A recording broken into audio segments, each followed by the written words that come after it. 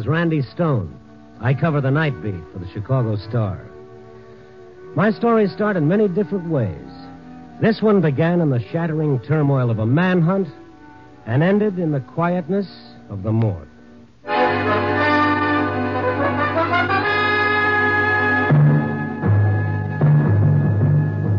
Night Beat, starring Frank Lovejoy as Randy Stone.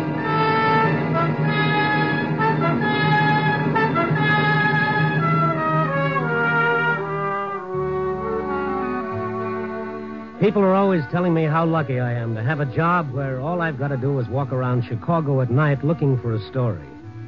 It's a dandy little job, sure. All you need's a pneumonia jacket, an extra set of arch supports, and a goodly supply of penicillin, and you're all set. the city at night. Fascinating. That old nose for news, frozen stiff and ready to fall off. Those eagle eyes so watery and bloodshot from the wind they wouldn't serve a self respecting canary. Yes, sir, it's lovely work if you can get it. And brothers and sisters, have I got it. oh, I guess I was just bitter. I'd walked from the loop to the near north side, waiting for a story to tap me gently on the shoulder, and so far it was no hits, no runs, and no errors. The streets were empty. Everybody was home hugging a radiator. And then far away I heard that lonely blues in the night sound, a police siren. And then another. And another. And then it seemed like there was a whole chorus of sirens singing about what a cruel, cruel world it all was.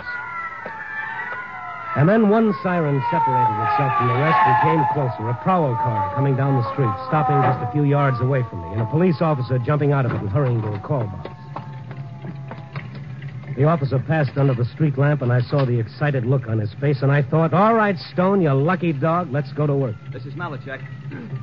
yeah, okay, we're on our way over there right now. Right. Uh, officer, just a second. What do you want, mister? What's up? Sounds like every squad car in the city's on the loose. Look, I got no time, mister. Read it in the papers tomorrow. Oh, I never touch the stuff. Look, the name is Stone, Chicago Star. Oh, reporter? Well, mildly, that's a general call, isn't it? I got no time to stand here, Gavin. I'll give it to you fast. Gig Sanders busted loose. Sanders? Great. When and how? Read it in your paper, Stone. All right, Crossan, let's move. They got him trapped.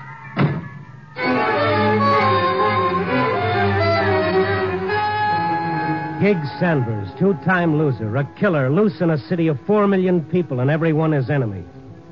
I hurried to a phone, checked with the police, and then drove over to that part of Chicago called the Badlands. That strange area belonging to every city, surrounded by business section, yet itself run down, deteriorated, filled with tenements and abandoned factories. It was there the police had thrown a cordon around a boarded up building. My pass got me through and up to the front line, and Police Captain Arlen. Hello, Stone. Oh, the hunt's on, huh? I don't know. We'll see in a minute. Sanders in that building? Got a tip he would be. Wait a second. All right, Billings. Turn the searchlights on the building. Keep two of them on the roof. Run the others back and forth. Right. Sticking around, Stone? Yeah, I guess so. You sure Sanders is in there? No, but we couldn't afford to pass up the tip. The tip? Where'd it come from? No, no, no. It's just a phone call. But Sanders knew this neighborhood like the back of his hand, likely to be here. Captain Ireland, ready with the speaker now. Okay, bring it here. Malachek. There's quite a crowd gathered for the kill. Yeah, making it tough for us. Sanders is armed like an artillery corps, and if he's in there, I see what you mean. How'd he get away? haven't got the full details yet, but he was being taken to the death house. Killed a cop. He's a nice boy. Here you are, Captain. Okay. All right. Here it goes. Sanders? Sanders! Listen to me. There's no way out of that building that isn't covered.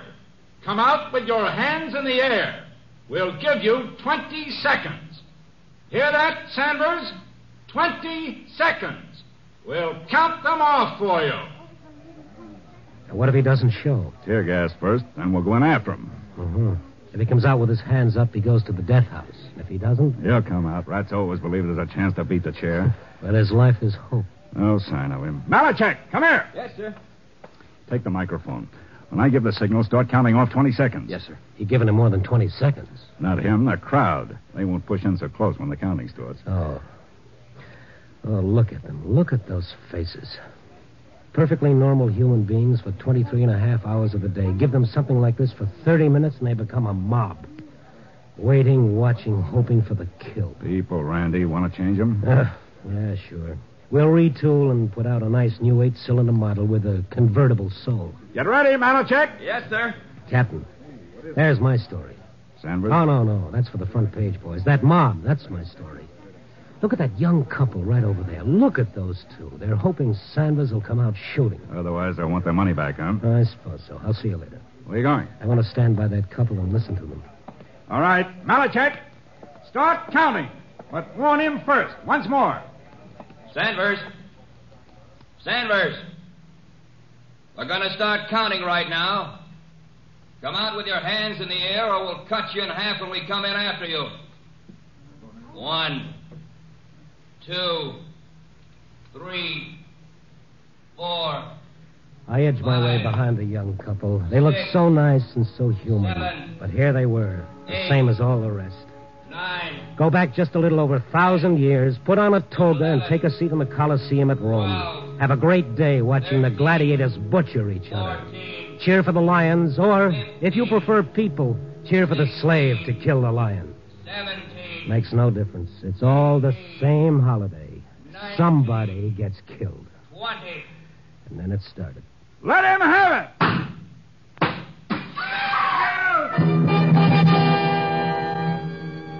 Was all over in a few moments. The tear gas, the police rushing in with their masks on, the crowd straining forward to get a glimpse of Sanders.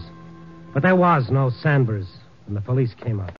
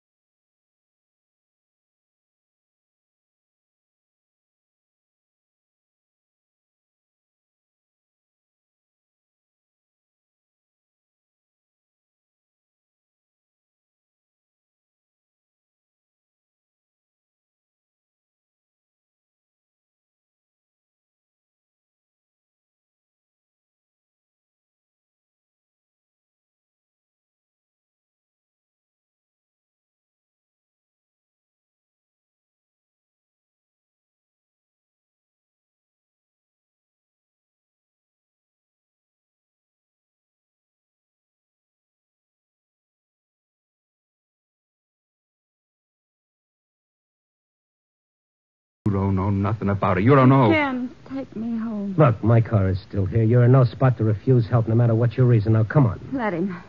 Let him take us, Kenny, please. I... Come on. They lived very close. It didn't take over three minutes to get to their tenement building. I wanted to take her to a hospital, but she refused. She refused in a way that made me look at her hard. And there was another thing the way she reacted when the police found out Gig Sanders wasn't in the oil factory. Terror. That's what it was sheer terror.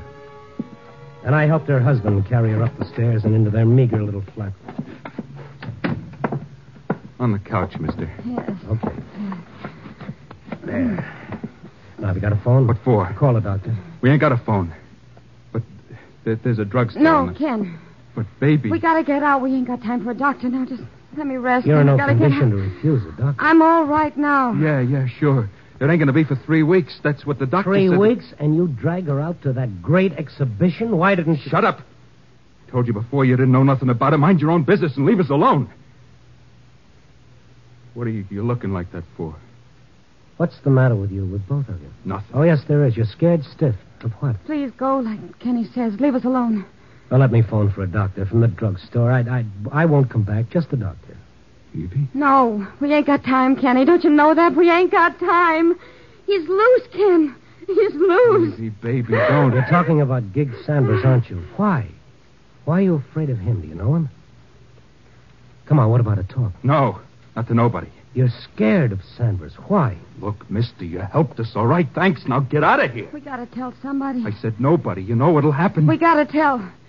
Mister, who are you? My name is Stone, Chicago Star. Newspaper, newspaper. That frighten you? Maybe he can help. Maybe he can. Nobody can. You know that. I'll tell him. Evie, shut up. It was Kenny who tipped the cops. Evie. I had to tell somebody. Maybe he can help. That's the truth, Kenny? I. Yeah. It was me tipped the cops. That Sanders was in the factory? I thought he might be, but he wasn't. All right, all right. Now tell me something else. How do you know so much about it? Come on, if you want me to help, I gotta know you're on the level, so tell me. Tell him.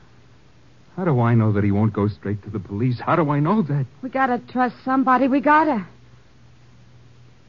Can we trust anybody? Well, try it and see. I. Him and me in the same gang once. I did time, but I got out before he did. I went straight because. Because. Go ahead. It was for me. Oh.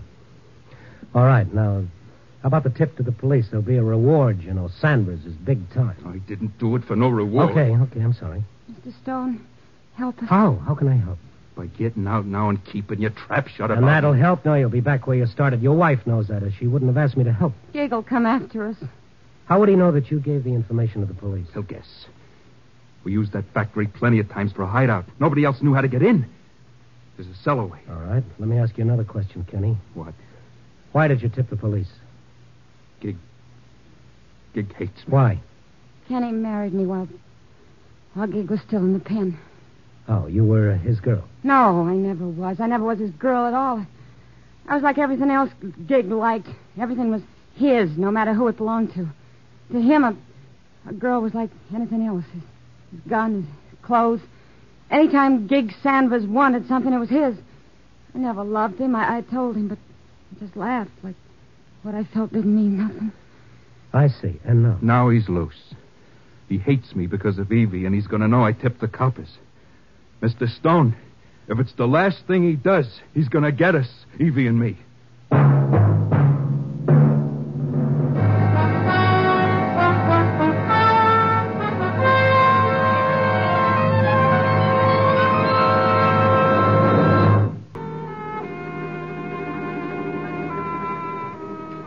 Those kids were scared, plenty scared.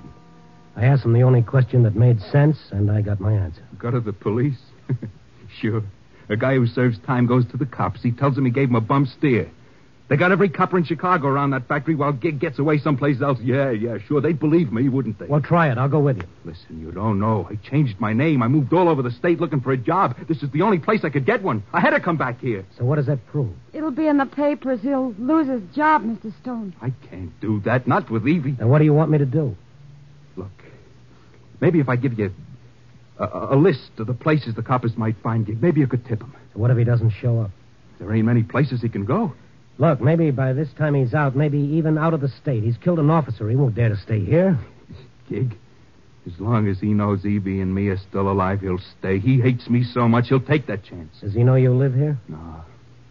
I ain't even seen any of the old bunch at all. I moved around. Always moving to keep away. Mr. Stone, go to the police. But don't tell him nothing about me. Will you get it through your head that they'll protect you? Even so, Gig's got friends. If they find out it was me, All right, yeah. So you gotta go to the police. All right. Where's the drugstore? right at the corner, you'll see it. All right, stay right here. Keep your door locked until I get back.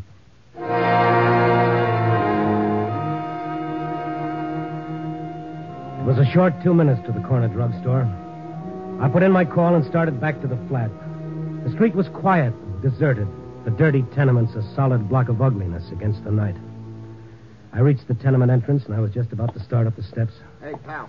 Huh? Don't turn around. Stand nice and quiet. That's it. What is this, a holdup? Sure, a holdup. Now listen to me. Take out a cigarette. What? Take out a cigarette. That's it. Now light it. Act natural. Good boy. Now, Where are you? in your car at the curb, smart boy. What? Don't turn around, I said. Take a look up and down the street. I am. Coppers? No. Okay. Now come here to the car.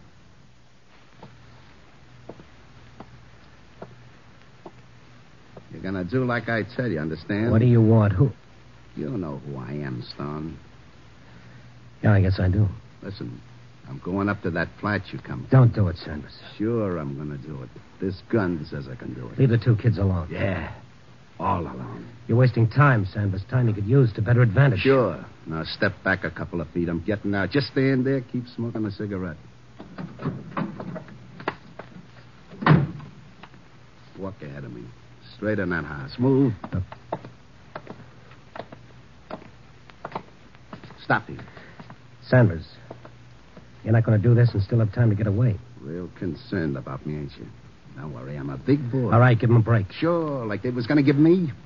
Now listen, you're going back up to that flat. You're going to knock on the door and you're going to tell them to let you in. That clear? What if I don't? So be a hero. I'll get in anyway. It's just easier this way. Okay? I, uh. All right. So let's go.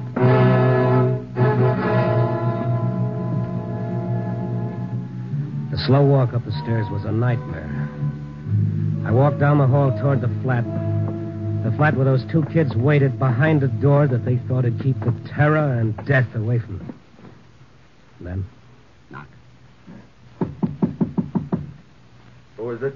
Answer. Sanders, please don't do it. You going to answer him? Who is it? Answer. It's Stone, Kenny, but I. You was a long time. Inside. Shut her up or I will. Evie, Evie, Evie, don't. You Stone. Lock that door. All right, Kenny boy. Over on the couch. Gig, Gig, don't hurt Evie. She's gonna have. I see, yeah. Congratulations. Listen to me. Shut up. Stone. What? Get over to the couch. On your way, turn out the light. And stay in line with the window so I can see against the street lamp. Now sit down. We'll talk. You gonna listen to me, Gig? Sure, I'm a wonderful listener. Only make it good and funny, huh? Even me fell in love, Gig. You ain't gonna blame us for that. Evie and you fell in love. You think I worried about that? You think I cared what she did? Nah. It's what you done tonight. He was afraid, Sanders, afraid that you'd come after him because of Evie. I thought about it, mister. Yeah, plenty. But I figured let it go. It ain't worth it. But this tonight is something different. Turning stooly. You'll never get out of Chicago, Sanders. Every cop in the city will be looking for you. That's nothing new to me. Now you, Kenny boy. You did tip the coppers, didn't you? Gig, listen. We're nothing. You haven't got a chance, Sanders. no chance? I always got a chance. My luck's good. You know why I wasn't in that factory, Kenny boy? Because my luck held. I had to get some dough first. and you know where I was? In that crowd, just standing there watching. You were in the crowd? Yeah, like watching my own funeral, only the coffin was empty. And I saw you and Evie, Kenny. That's how I knew where the tip come from. All right, you're smart, Sanders. Now be smarter. You've got us where you want us. We can't make a move, but if you kill us, you'll kill the time you need to get away. I got ways. Like I come here. I followed you in a cab, then hid in your parked car. Now, ain't that smart? Evie, you ain't said nothing. Gig, you, you gonna kill us? Yeah, I'm gonna kill you, Sanders, you said your luck held. It can't hold forever. What you're doing now is giving the police minute after minute to catch up with you, and they will sooner or later. You killed an officer, Sanders. You know what that means. Him or me, it had to be that way. Doesn't have to be this way. This way? What Kenny done was to save Evie's life and the baby's, right or wrong. That's why he did it. What would you have done to save your own life? I killed a cop to save my life. That answer you? Yes, I guess it does. So it makes sense. That's a radio there by you, ain't it? Yeah. Send it on. We're all going to sit here and wait for the news. We're going to see how I'm making out.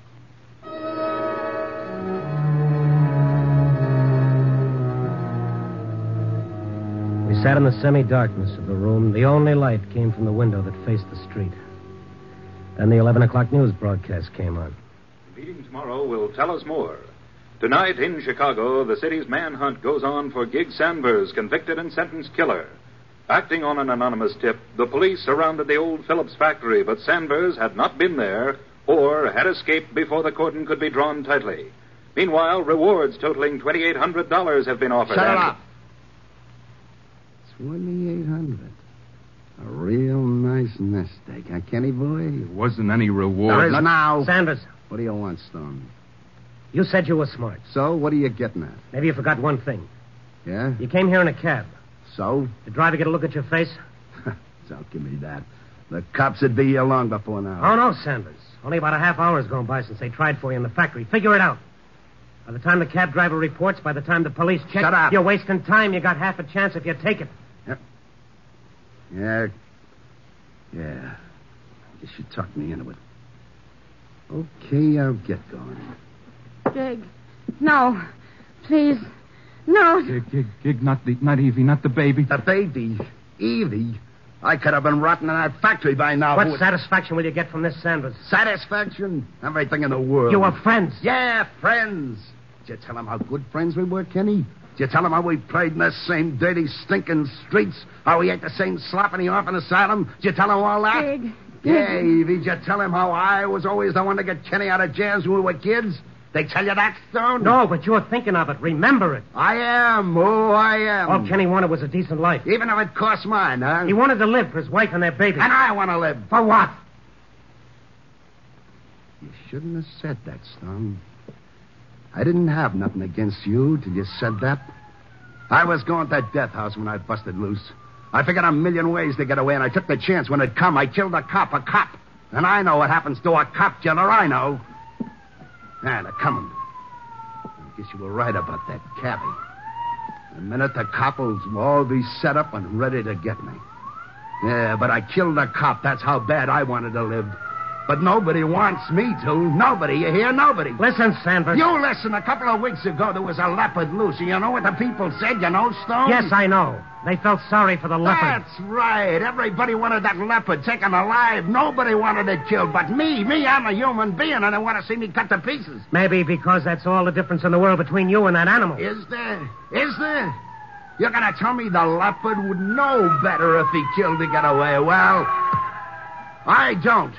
No, because that's the way I learned to live. Because you didn't want any other way, Sanders. Because it was the easiest way. You grew up in a gutter. You never wanted to get out of it. Other men did. I ain't other man. I'm Gig Sanders. Gig Sanders. Gig, they're all around. You ain't got a chance. Ah, and that's dandy for you. Just what you want. No, Gig, no. I swear it ain't. You swear. Now, you listen. I'm going out, yeah, but not with my hands up. And I ain't gonna die alone. Sanders, don't. Do one last decent thing. Let these kids alone. Gig, listen. I'll go with you. Kenny, no. Gig, Gig, I'll, I'll go with you. It'll be you and me again, like it always was. I'll help you get away. We can do it together, Gig. We always used to, me and you, remember? You're crazy, Kenny. If they think you're going out with him, you won't have a chance. They'll cut you down with him. You won't. Kenny, stay here. I gotta do it, Evie. You gotta see that. I have to do it. Gig, you want to kill me, all right. I'll be dead if that's what you want, but I'm going out with you. I got a gun. I got a gun. Kenny, put it down. Don't. So you got a gun. You got a gun. All right, shoot me. Why don't you shoot me? I could have. Any time we were sitting here. But you didn't. You was always soft, Kenny boy. You see, Stone, that's the difference between him and me. Then shoot me. Go ahead, kill me now. But even if you don't, I'm going out with you, Gig. Kenny, you're not talking sense. Sanders, Sanders, we know you're in there. Sanders, this is Captain Ireland. Listen to me. Sanders, I'm listening, copper. Sanders, there are innocent people in that building. We'll give them time to clear. If you've got any human decency left in you, wait before you do anything. But I warn you, Sanders, come out with your hands in the air. What are you going to do? You know what I'm gonna do? Coppers! Coppers, I'm coming out! Right out the front door. Tell everybody else to stay in. Tell them. All right, Sanders, but with your hands up. Now listen, people. Stay in your rooms, lie down on the floor, and stay away from windows and doors. I'm coming, coppers. They'll kill your Gig. Sanders, go out with your hands in the air. Oh, sure, sure. Now, Evie, Kenny. Gig. Sanders. Do it then, Gig. Do it and get it over with. Kenny, Kenny, boy, get where I can see your face. Think what you're doing, Sanders. Shut up, Stone. And the light by the window, Kenny. Now, let me look at you. You, you said you'd go out with me. Yeah. Kenny, don't lie to me now. Don't lie now. I'll go with you, Kate. Swear it's the truth, Kenny. Swear it's the truth. I don't have to swear it, Kate. You're looking at me.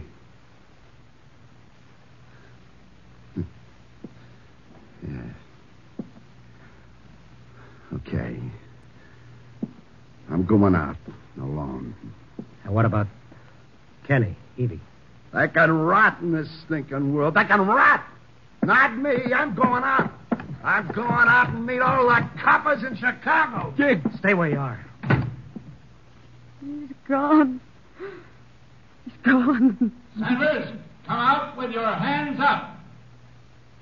Hello, coppers!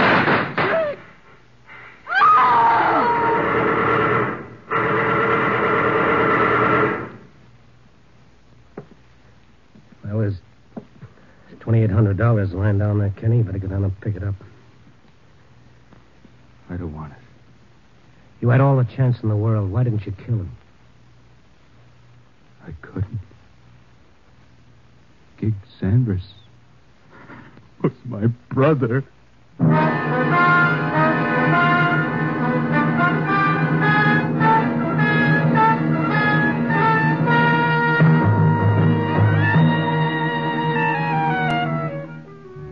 Now it's almost dawn again, and I've written another story.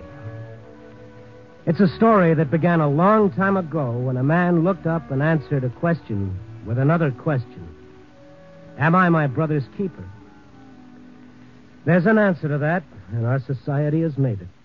Yes, you are your brother's keeper, but the kept must be worthy of the keeping. Copy, boy.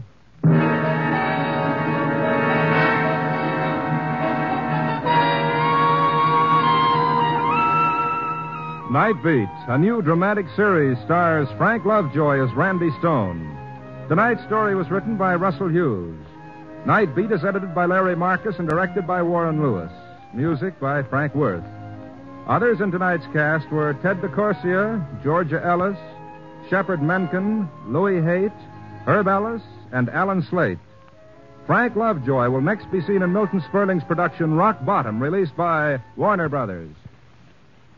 Listen next week at this same time and every week as Randy Stone searches through the city for the strange stories waiting for him in the darkness. The stories that come out of the shadows to find their way into Night Beat.